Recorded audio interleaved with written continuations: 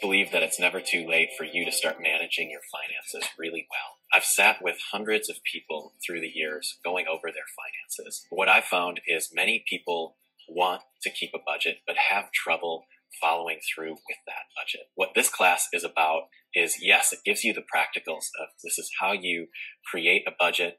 I'm going to provide a spreadsheet for you that's really great for getting started, but going into how to live it out and how to create a budget that doesn't take all the fun out of your life. I've seen people on both extremes where they start budgeting and they start becoming non-generous people. You know, it becomes this thing where I want to hoard this money.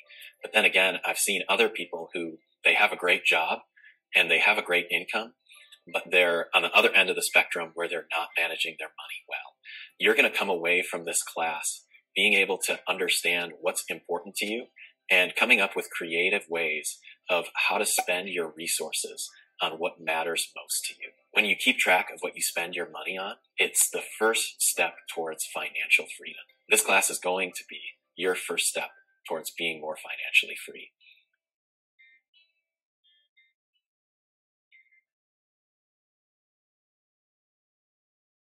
There's a couple of important truths that I want to make sure that you understand before we start budgeting. It's this one. There will always be enough for you. And that might sound extravagant, but it's true. Growing up, we actually didn't have very much money. I grew up a single parent family, and a lot of times we were living month to month. There were times where we didn't know if the mortgage was going to be paid. Uh, there was times where we had to cut down the amount of food that we were eating, but there always seemed to be enough at the end of the month for our needs. Coming out of a place of thinking that you don't have enough isn't a healthy place to start budgeting from. If you don't believe what you have is enough already, then what you earn is never going to be enough to satisfy you. The truth is that no matter where you're at or what you're doing, there's always enough for you to be able to provide. There's always enough resources to be able to go around so that everybody can live a great life. That's not just dreaming or fantasy. It really is true. There's something beautiful about budgeting from a place of knowing that there will be enough rather than budgeting and penny pinching and holding on to as much money as you can have because of a fear of there not being enough. The second lie that people believe about their money is that it's too late to get back on track. And the truth is it's never too late to get back on track with your finances. The American and international financial systems are actually very forgiving. Just to share a personal story, my dad filed bankruptcy because his business completely failed in 2008 during the housing crash. But today he's actually a successful business owner. He's a homeowner because of the decisions that he made. What I want to say to you is it's never too late to start making the right financial decisions for your life. I want to encourage you to really lean into this. Even if you, you're in bankruptcy, even if you, you don't have a house to live in, even if you're um, struggling with food, it's never too late to start getting on track, which is why I'm excited for you to complete this budgeting class. Nobody wakes up in the morning and says, man, I can't wait to budget.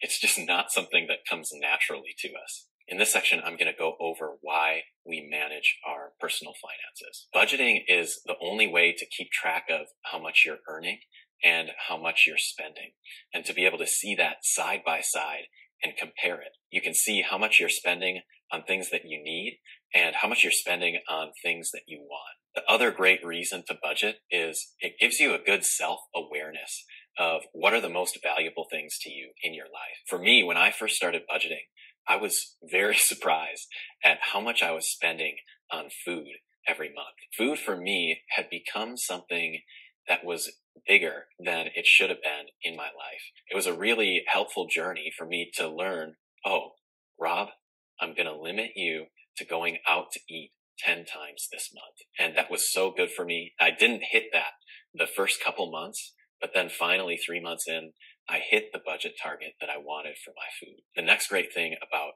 managing your personal finances is it allows you to put your resources towards what you care about the most. And so for me, food's important, but it's not like the most important thing in my life.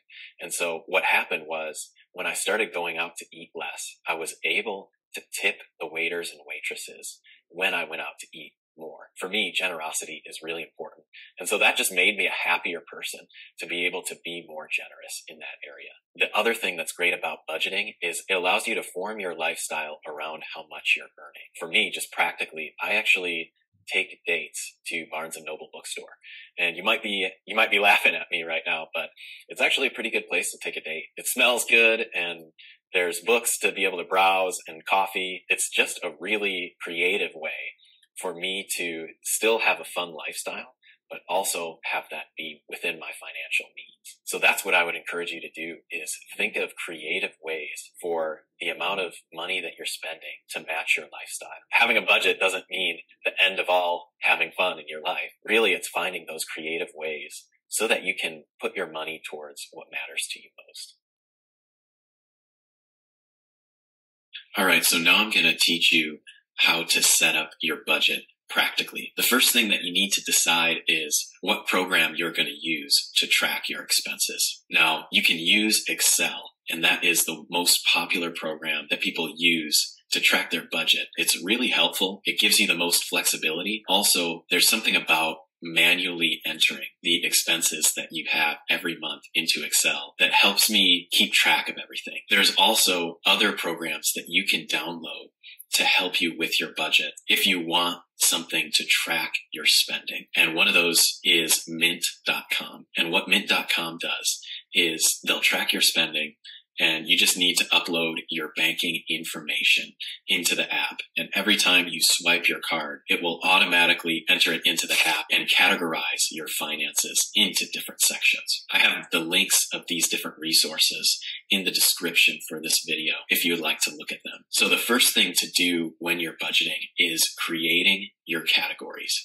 And this will be different based on what you spend your money on. Everybody will have categories for the necessities, food, clothing, housing, and transportation are viewed as the necessities for a budget. So you definitely want to have those categories. But then you can go on down the list and add the unnecessary things into your budget, such as entertainment, fun, sporting equipment, or books. When I had my budget, books was part of it. I'm going to show you a trick that I use. I create a target that I want to hit every month. That's what a budget is, is it's a target. I have my projected budget. Then I also have another tab in Excel for my actual budget. The projected one is what I want to spend on these things. And the actual one is what I end up spending in these different categories every month. This is important because I've never hit exactly what I have set per month. I don't want that pressure to be on you to be like, oh, I need to hit $600 for this. I want it to be able to adjust a little bit to what you're buying and what you're spending on. And having a projected budget and then your actual budget is just a good thing to do. And it allows you to track your progress. So there would be times when I first started budgeting that I did not hit my food budget for the first three months, but I got closer every time. And so I was like, well, didn't hit my food budget that month, but I'm going to keep the target here. It's next month now. I didn't hit that food budget, but I'm going to keep the target at where I want it to be. I would recommend going over this every month and making adjustments accordingly. Say transportation is not really costing you as much as you originally budgeted for because gas prices go down or something like that. Adjust that part of your budget and then be able to use that money in a different place. This is the spreadsheet that I've created for you to be able to make your budget. I'm also going to attach this spreadsheet in the class resources section for you to be able to download. All right, so here are some mistakes to avoid when you're creating your budget and starting to manage your finances better. The first mistake would be not budgeting for generosity. This is so important to remain a generous person even with a budget. I personally have a certain amount of money that I have budgeted that I give away to organizations or people. The next mistake to avoid with your personal finances is trying to live at a higher lifestyle than your finances can afford. They'll get a house that's just outside of their price range, and then they'll buy a car that's just a little bit outside of their price range. You can get caught paying off these debts that are a result of you living at a higher lifestyle than you can afford. The third thing that I would say to get you in a great financial position would be to pay off all your credit card debt. as soon as possible. What happens with credit cards is any amount that you have on your credit card at the end of the month, the interest rate averages 20% on that amount that's left. You can really easily get yourself into some pretty scary debt if you continue to carry a balance on your credit card. I'm at a place where I never carry a balance on my credit card. That's what I recommend. And that's what's worth working towards is never pay interest to the credit card company. You can use a credit card. Just make sure to pay it off every month. A trick that I do too is I pay off my credit card weekly. Every week I'll pay it off and pay it down. And that way, just between my bank account and my credit card, I never think that I have more money than I actually have if that makes sense. The other mistake that I see when people are managing their finances is they don't budget for the fun things. They end up not following their budget at all and throwing it out because they're on a vacation. Make a plan to have fun money in your budget, however many dollars a month for that vacation or for that fun thing. Don't limit yourself and take away all your hobbies and, and all the fun stuff. Include that in your budget. That allows you to, to also track that and really keep that at a manageable place too. You want to have fun, but you don't want to have the kind of fun that takes you outside of what you can afford. The other thing that I see people doing to avoid is build up your savings account before you start investing. You should have at least a thousand to two thousand dollars in your savings account for emergencies before you start looking at investing. And that is just a great cushion to be able to have because let's be honest, life happens. There's things that happen and having that emergency fund is really important for those things. It's not an emergency fund as in it's an emergency. I need to buy this wedding ring or not an emergency. Like it's an emergency. I need a little bit better of a car, but it's, it's genuinely a fund for those emergency type situations. Like if a window in your house was broken or something like that.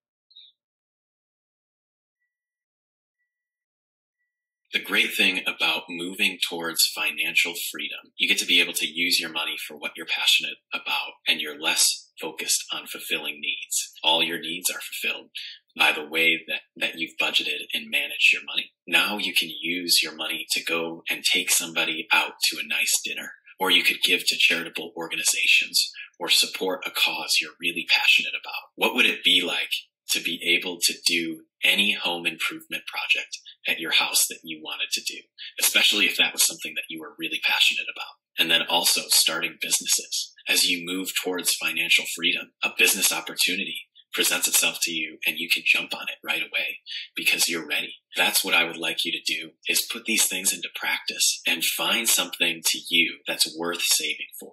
Find something that's worth doing this for and then go for it. Another thing that I personally do is I buy quality things. I actually shop at Trader Joe's. It's just a great place. My whole thing about a budget is not to get the cheapest, but it's to get the best. When I was working in the banking industry, I had a man sit down at my desk. He was looking to get a home loan from me. He was dressed very nicely. His occupation was an engineer, but he actually ended up not being able to get the loan. If you can guess why, things were looking pretty good on the outside. Like he made over $250,000 a year. He wasn't managing his finances very well. Even with $250,000 a year, because of the house that he lived in, the car that he drove. I'm not sure where all of his money was going, but it was obvious that things were being mismanaged and we actually weren't able to offer him a loan. He had too much debt versus the amount of money that he had coming in. And so I just give that example to you. Don't be that person who spends more than they're earning. It feels so good to be able to spend less than what you're earning. And it's, it's a beautiful thing because that means you're giving more to society than you're taking. That's a really great place to be. So here's what I'd like you to do with what you've learned in this class. Your class project is to download the spreadsheet that I've provided and create your own budget. You can do this through the spreadsheet provided, or you can choose your own website or platform or whatever you would want to use. Take the tools that we talked about and create the targets that you want to go for in your budget every month. The other resource that I want to let you know is available to you is my investment classes. I've created a number of different investment classes that teach you how to invest in the stock market, what are the different investment types, how to research stocks, and a lot of other stuff. And those are available in the resources below. And then the other thing, the last thing, if you could please leave me a review, that would mean the world to me. And that would also help me know what you enjoyed about the class, uh, what you liked, what you found that was helpful to you, and maybe even something that you didn't understand or something that I overlooked in the class. That would be so amazing. I have full confidence that you're going to move into a season of having more than enough, and you're going to move into a season of becoming more financially free. I'm so excited for that. And I'm so excited for you to start living in the fruit of the things that you're learning today. And I will say this, the fact that you're just taking this class means that there's something happening and that there is a positive change coming to your finances and budget. Thanks.